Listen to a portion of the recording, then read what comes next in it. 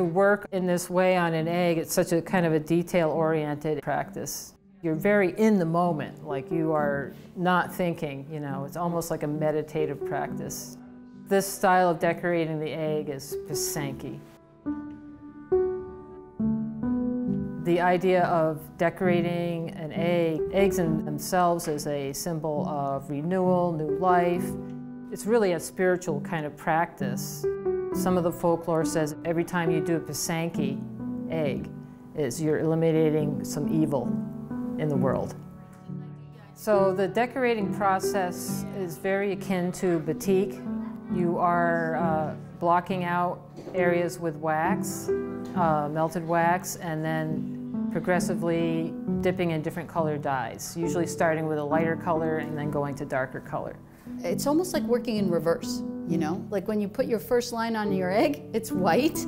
And so you have to remember that that's going to be white at the end um, and it's going to be revealed.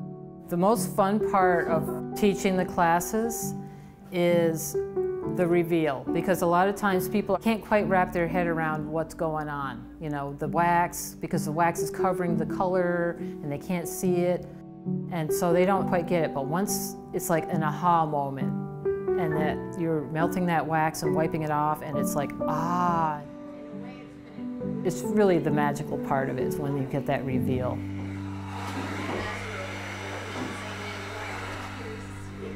So I grew up in uh, Brooklyn, in New York City, and uh, every Easter season or pre-Easter season, my parents would take us into the Lower East Side of Manhattan. Um, there was a Ukrainian decorative art store there, but they also had uh, Pysanky kits, and they had Pysanky for sale, and they, my parents purchased kits and brought it home, and we would make Pysanky pretty much every year when Easter rolled around. Um, my background was Belarus. My mom and grandparents came from Belarus, although I had a great great grandmother who came from the Ukraine, but I had never met her.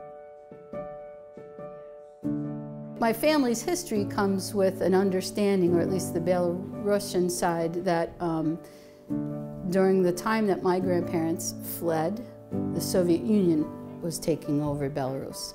And so anything that was related to their Slavic heritage, language, tradition, was not allowed to be expressed. So growing up in the United States, um, my grandparents made it very clear that it, it, preserving your heritage was a very important part of knowing who you were.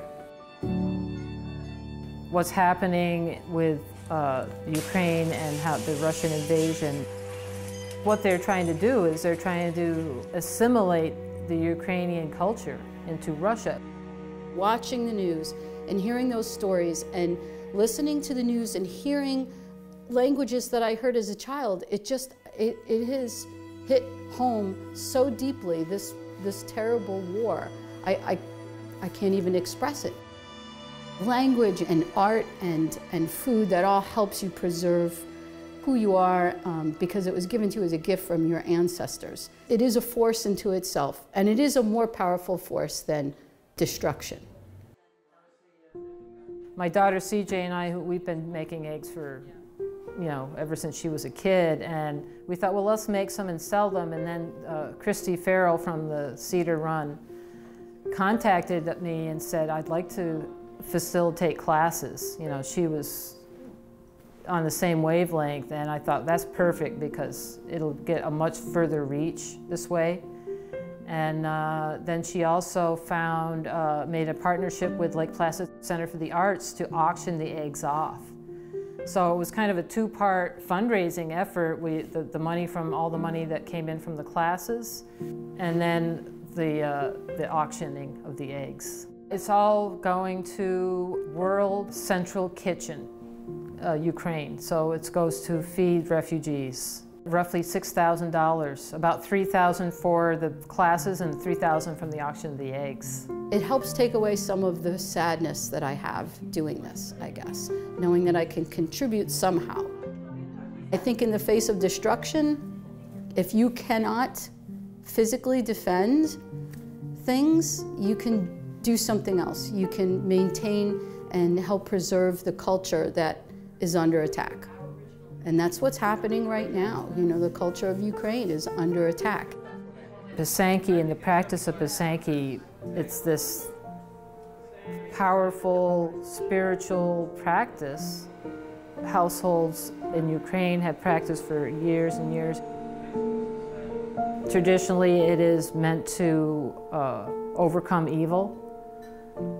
It just seems so relevant.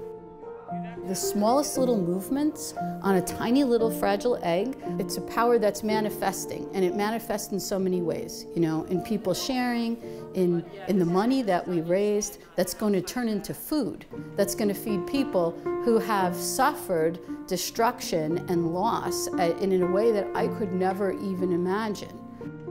One really fine Pisanki artist calls it saving the world one egg at a time which I think is a lovely sentiment.